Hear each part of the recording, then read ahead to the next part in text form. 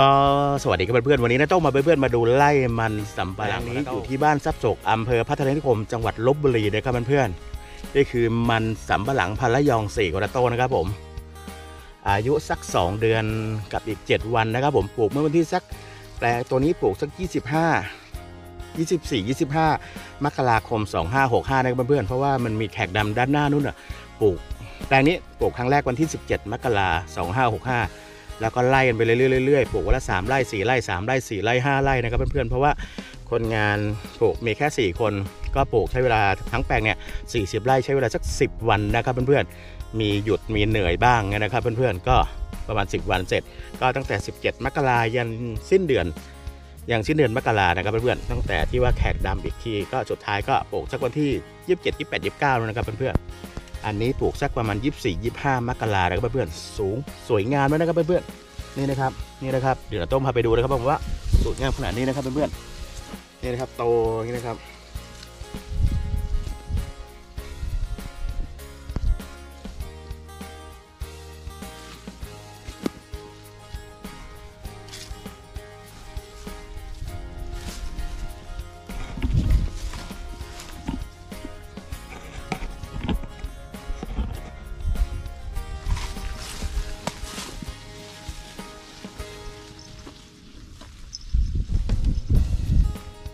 เมื่อวันที่ 25 มกราคม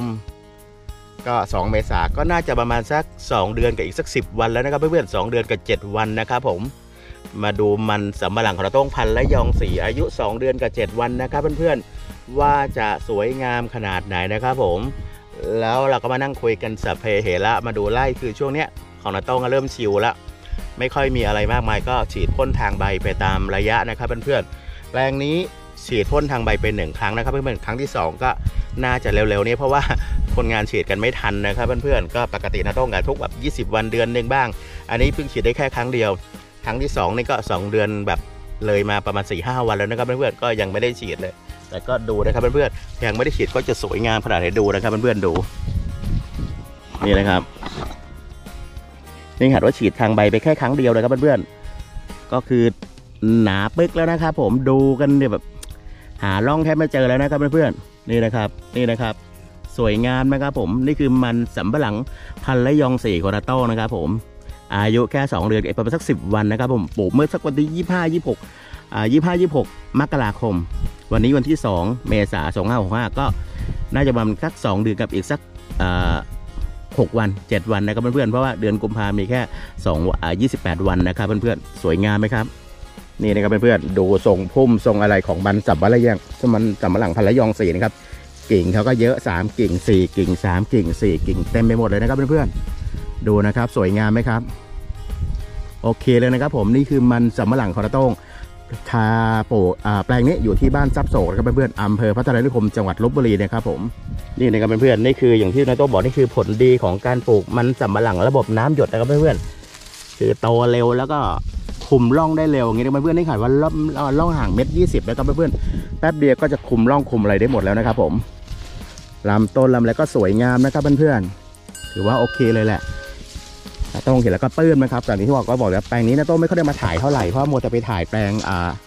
อย่างที่บอกมัวจะทำคลิปเที่ยวทำคลิปอะไรบ้างสารพัดคลิปนะครับเพื่อนๆก็เพื่อให้หลากหลายให้คนคนให้ท่านให้เพื่อนๆไม่เบื่อกัน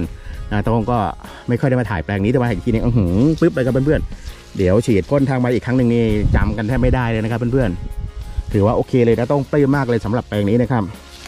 นี่ไม่อยากจะโกยหวยดูไว้สักสามเดือนก่อนนะต้องจะโกยหวยเพื่อนๆดูนะครับผมว่าอ่ามันสำปะหลังพันและยองสีกระโต้งเนี่ยอายุสัก 3 เดือนเนี่ยเดี๋ยวก็คงน่าจะเป็นสักวันเดือนพฤษภา สักวันแรงงานนะครับเพื่อนๆเท่านาต้งว่างนาต้องจะมาถ่ายคลิปให้แล้วจะโกยหวยดูว่าอายุ 3 เดือนเนี่ยมันนาต้งจะหัวเป็นยังไงบ้างนะครับเพื่อนๆแต่ระหว่างนี้ก็เพิ่งอัดปุ๋ยอัดอะไรเขาก่อนนะครับเพื่อนๆนี่ครับสวยงามนะครับเพื่อนๆอ่าและยองสีปลูกไปยาวไปยืนนู่นนะครับเพื่อนๆแล้วก็ท้ายก็คือแขกดำขวานี่คือแขกดำปีนี้แปลงนี้นาต้งจะใช้จะใช้ปุ๋ย ปีนี้แปลงนี้ของนาต้งจะใช้ปุ๋ยทางใบอย่างเดียวนะครับเพื่อนๆคือใช้ปุ๋ยน้ำอย่างเดียว หนึ่งสองสามสี่เดือนเนี่ยนาโต้องจะพ่นทางใบ แล้วก็พอเดือนที่สามเดือนที่สี่เดือนที่ห้าเดือนที่หกเนี่ยต้องจะให้ทางดินด้วยนะครับเพื่อนๆก็คือทางใบด้วยทางดินด้วยนะครับแต่ว่าทางดินก็คือเป็นปุ๋ยน้ำนะครับเพื่อนๆให้ทางสายน้ำหยดนะครับเพื่อนๆแบบนี้สายนะครับเพราะของเราต้องปลูกด้วยระบบน้ำหยดนะครับเพื่อนๆนี่นะครับก็คือสายน้ำหยดทุกทุกทุกอันนี้นะครับเพื่อนๆนี่นะครับ ก็อยากจะลองดูว่าเราในในยุคที่ว่าปุ๋ยแพงๆแบบเนี้ยถ้าเราให้ปุ๋ยแต่น้ำปุ๋ยน้ำอย่างเดียวแต่ว่า ให้ทั้งทางใบ แล้วก็ให้ทางสายน้ำหยดด้วยเนี่ยลงดินด้วยเนี่ยจะได้ผลผลิตดีขนาดไหนนะครับเพื่อนๆนะต้องก็อยากทดสอบดู เพราะว่าถ้าผลผลิตไม่ต่างกันมาก แล้วก็มันเซฟต้นทุนแบบนี้นะต้องก็ไม่จำเป็นต้องให้ปุ๋ยเม็ดเลยนะครับเพื่อนๆก็คือให้ทางดินก็จริงแต่ว่าให้เป็นปุ๋ยน้ำนะครับเพื่อนๆให้ทางสายน้ำหยดนะครับผมเพราะว่าแปลงของเราต้องทั้งแปลงทั้ง 80 ไร่เนี่ยนะต้องปลูกด้วยระบบน้ำหยดทุกทุกทุกแปลงนะครับเพื่อนๆปลูกหมดทุกไร่นะครับเพื่อนๆ ก็คือลงทุนนิดนึงแต่ว่ามันก็คุ้มค่าการลงทุนนะครับผม เป็นยังไงครับเพื่อนๆเป็นยังไงบ้างครับเพื่อนๆสวยงามไหมครับนี่คือมันสำปะหลังพันและยองเสกของอาโต้งอายุแค่ 2 เดือนกับอีกสักห้าหกวันนะครับเพื่อนๆถือว่าสวยงามมากๆนะครับผมนานๆมาดูทีนึงก็ปลื้มเพราะว่าโอนาโต้ไม่ได้มาดูแปลงนี้เกือบเป็นเดือนกว่าแล้วนะครับเพื่อนๆมัวแต่ยุ่งนู่นยุ่งนี่ก็มาดูแล้วให้ทางคนงานเขาเก็บหญ้าให้แล้วก็เอ่อหมายถึงว่าเก็บหญ้าให้แล้วก็อ่าอ่าเขาเรียกว่าอะไรนะ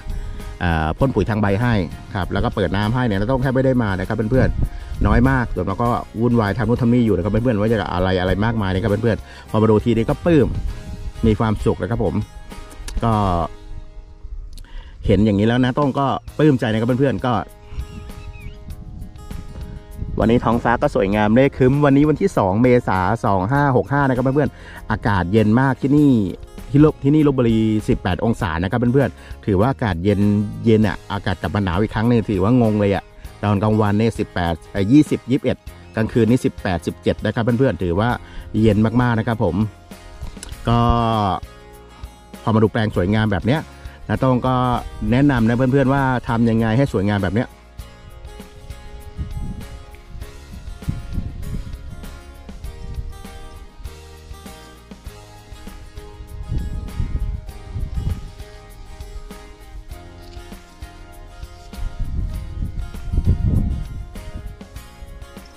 ก็สำหรับคลิปที่พาเพื่อนๆ มาดูมันสำปะหลังพันละยองสีกระต้ง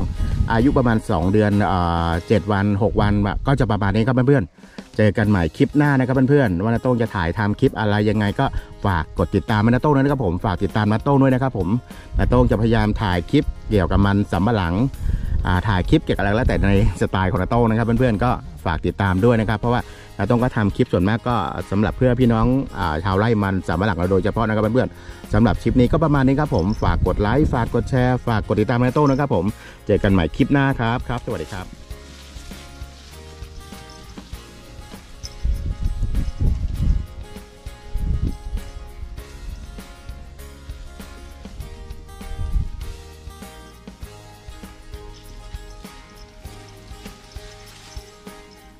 เป็นยังไงบ้างครับเพื่อนๆ มันสำปะหลังพาระยองสื่อของนาโต้ง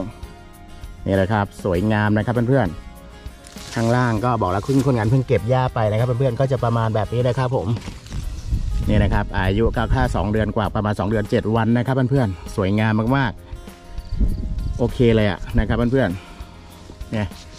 ดูล่องแทบจะไม่เห็นแล้วนะครับเพื่อนๆ ดูนะครับ ดูนะครับ นี่นะครับ อืมถือว่าสวยงามนะครับ ต่อเนื่องกันไปนู่นนะครับเพื่อนๆ ต่อเนื่องไปนู่นนี่นะครับเราเมื่อกี้ที่วานาต้งเดินได้ดูว่าก็โอเคนะครับเพื่อนๆเอลก็นี่แล้วนะครับ ก็แต่กิ่งนะครับสวยงามนี่นะครับเพื่อนๆสองสามกิ่งสองสามกิ่งนี่นะครับ ก็เริ่มคุมล่องมาแล้วนะครับเพื่อนๆถือว่าโอเคเลยนะครับผม